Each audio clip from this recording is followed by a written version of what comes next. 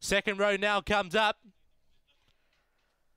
Light on, set to race, race number four. Set. Away, leaving Begang on terms. There's speed underneath from Maria's Gem, who goes to the front, leaving Copter check and went back to last. So Maria's Gem on top by two on Banjo Riley. Three lengths away then to Lady Hazel. A big gap to Mulla Mulla Girl with Vibrantly leaving. Up to the turn, Maria's Gem on top. Tackled by Banjo Riley, who looms up now. And Banjo Riley too good.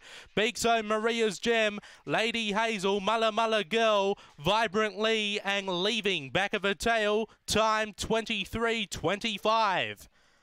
Banjo Riley too good. Kim Johnston for winging Tranger. Beating home number two, Maria's Gem for Robert Isaacson. Third number four, Lady Hazel for Scott Feltus. And fourth number five, Mulla Mulla Girl for Ray Barkler. Early split in 894, 23 25 that time. Rung home in 14.31. 1, 2, 4, 5 your numbers after race number 4 here at Gawler.